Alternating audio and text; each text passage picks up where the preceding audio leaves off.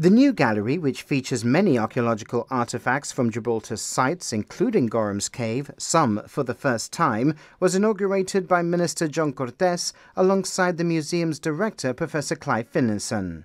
The idea of pillars of Heracles or Hercules is, is underplayed in Gibraltar. I don't think we make enough of it. Mm. So what you will see in this gallery is all the work that we've been doing. The Neanderthals steal the thunder, but I think a lot of the work from Gorham's and other places in Gibraltar show the importance that this place had for, for that. So. The period covered starts with the Neolithic around 7,400 years ago through to the Bronze Age around 4,000 years ago and culminates with the period of greatest maritime activity at the pillars between the 8th and 3rd centuries BCE.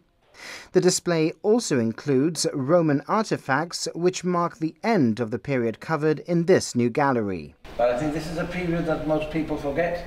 Um, and the work that you've done, you've mentioned three of the things that I've been involved in, um, have served to highlight that really important part of our history, where Gibraltar was um, probably, from your work, very significant in the context of the Mediterranean.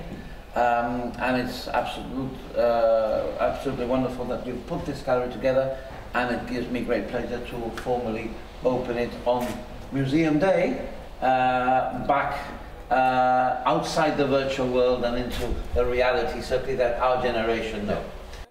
This all happened during International Museum Day, which has been celebrated in Gibraltar since 2002 in the form of an open day, and this time was held in person at the museum for the first time since 2019, following the COVID 19 pandemic, which saw Museum Day events held virtually. And the return to the museum saw a good turnout with activities including face painting, workshops, a treasure hunt, and fancy dress competitions.